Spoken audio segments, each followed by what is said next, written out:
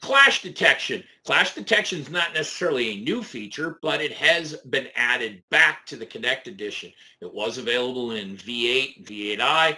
Um, it, it left for a little while and ended up in Navigator and different places. It's now back in MicroStation.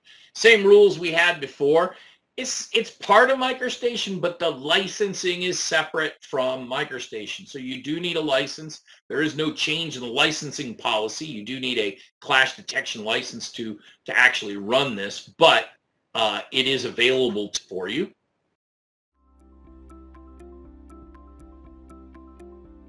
If you found this video helpful, please give it a like. If you want to see more such series, consider subscribing to our channel.